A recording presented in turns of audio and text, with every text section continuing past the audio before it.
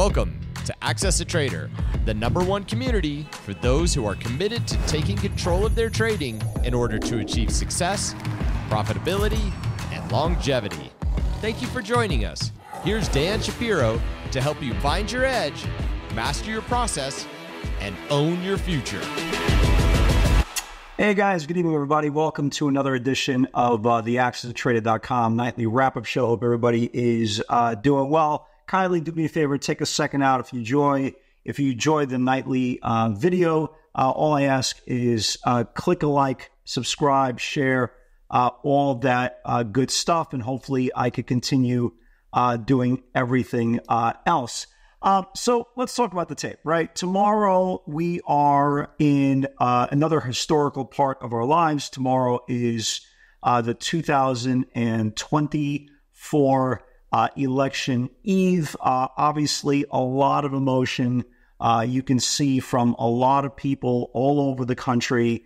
Uh, no matter who your favorite candidate is, make sure that you are respecting everybody else because, again, at the end of the day, we're human beings. You could be a Republican, you could be a Democrat, but you're a human being, and every uh, human being uh, should be uh, respected. From the, the, point of the election eve, so far the market uh, is kind of acting like we uh, discussed on the weekend update. Uh, I think we we pretty much identified you know really good, solid, safe opportunities today, as I discussed on the weekend videos, trying to avoid all the pricey expanded moves today. And we saw some pretty decent value uh, with some Tesla dips. We'll get to Tesla in a second. Uh, even SMCI gave a sneaky pivot back uh, to the upside ahead of earnings, which again, long term SMCI looks like an absolute uh, disaster. Uh, but the point is, we are not in a price discovery type of environment right now, which basically means is um, bulls and bears are kind of in a holding pattern, right? Uh, we're kind of in a wait and see pattern. Obviously, uh, tomorrow night is going to be super important. I think the polls close tomorrow, at least in New Jersey. I think I'm, I'm allowed to vote till eight o'clock at night tomorrow. Um, but the point is, this will be one of the more scrutinized elections, especially what happened uh, last time. Uh, the last time we saw uh, an election that couldn't really identify a winner was the 2000 and uh, I think it was the 2000 election, right? If it was when it was Gore uh, versus uh, Bush, there was no clear winner uh, from the electoral colleges, and it took up to 46 days of legal uncertainty, lawsuits, counter lawsuits, so forth and so on, uh, to finally give us a little bit of clarity. That's the one thing uh, that is going to keep the market very, very aggressive. Um, today was kind of like the calm in front of the storm. Uh, you saw the majority of stocks continue to kind of drift, right? There was no uh, aggressive call buying anywhere. There was no aggressive put buying anywhere. Yeah, the market is still, you know, the speculation market is still playing uh, the DJT story. Maybe it has one more uh, one more day tomorrow ahead of the run up to the election. But the, the, the overall big names, right? The mega cap names, we're in a holding pattern. We're just kind of drifting. Um, nobody's really trading, or at least trading aggressively. Um, I took a couple of balances today on Tesla. You know, worked out okay. Uh, but the more important is, I think more the market participants want to see some clarity, right? Whether it's a Republican, Democrat, or so forth and so on. We want to make sure that there is uh, a definitive winner of this election. The problem is, I don't think it's going to be tomorrow. I don't think you're going to wake up uh, Wednesday and say, so and so is the president of the United States. Uh, from what I'm seeing, uh, there's already, I think Bloomberg reported this, there's already, I think, a hundred and something lawsuits already filed. That the election hasn't even started yet, right? Uh, but tomorrow you'll start seeing a lot of big exaggerated spikes in the futures market uh, just because you're going to start seeing some precinct talk, some um, you know some um, some uh, swing state potential projections, and you're gonna have a lot of really random moves tomorrow. So if you can avoid tomorrow's session, that'd be great, especially for newer traders. Again, I'm going to be always trying to find something on the daily chart, like we found today uh, on Tesla a couple of times uh, in the daily bounces. But I, but I think if you're a brand new trader, uh, you know, there's going to be easier days ahead. Uh, why sit there and try to squeeze water out of a rock when you have, when you know there's going to be a lot of volatility? Tomorrow, after the close, when you start seeing a little bit more projections, a little more swing uh, state projections, you're going to have a lot more activity uh, in the futures markets. Probably going to be, you probably see a stretch that the then you know the, the futures go up 300, down 400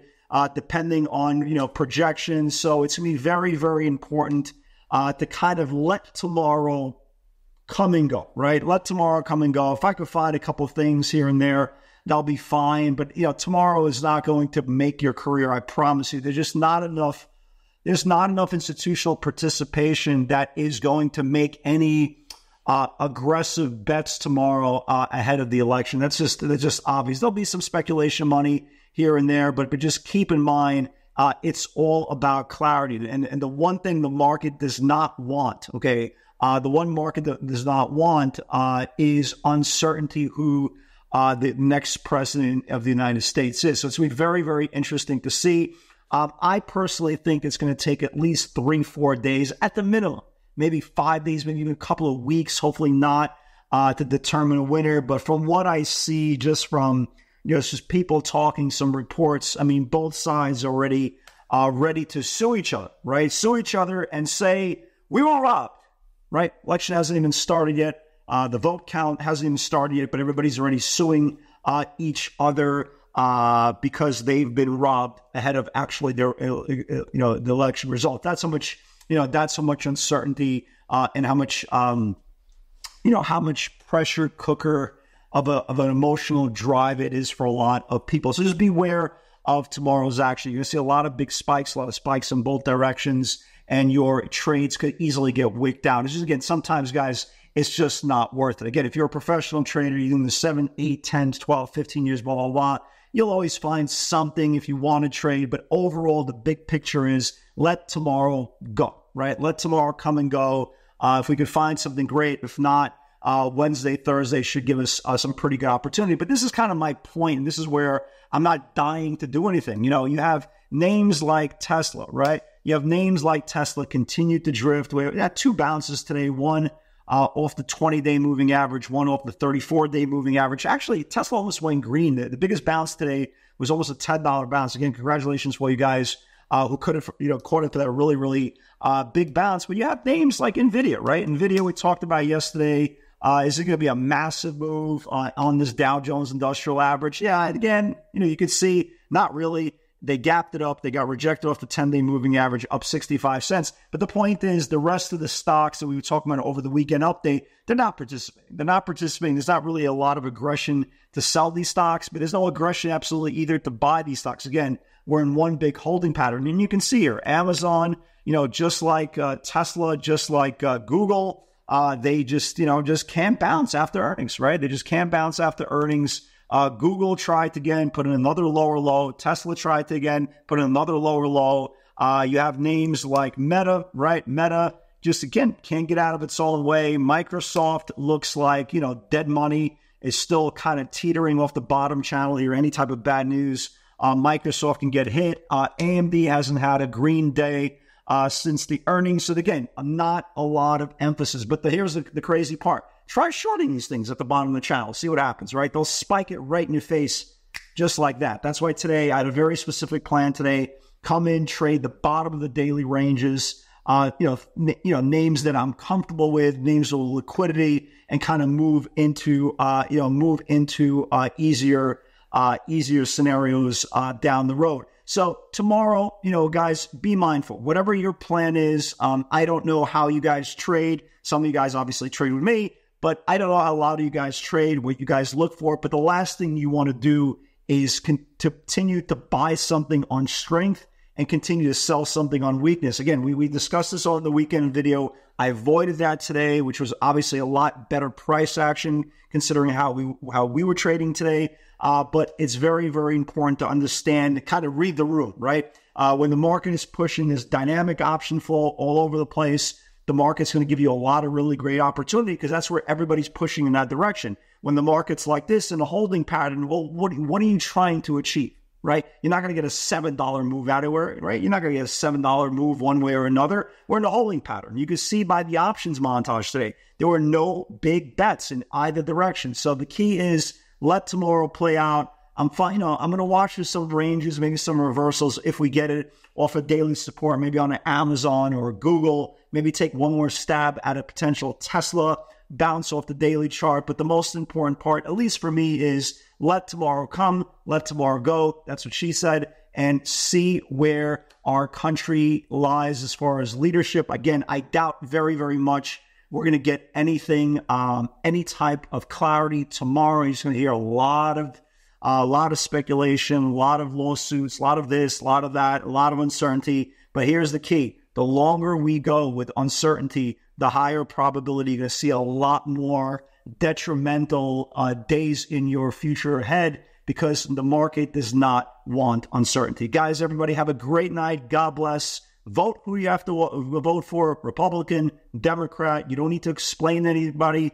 to anybody. You don't need to justify. Just the most important part is I don't care if you are a good a good Democrat. I don't care if you're a good Republican.